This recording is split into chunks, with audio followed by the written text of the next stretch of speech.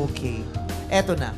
Ang babalik bukas sa tawag ng tanghalan sa Showtime with an average score of 93.2%.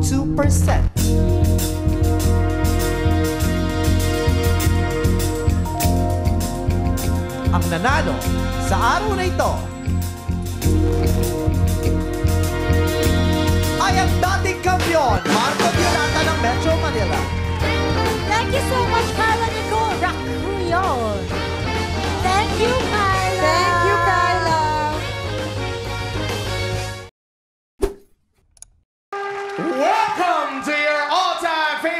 search for outstanding amateur talents. Tawag ng tanghalan sa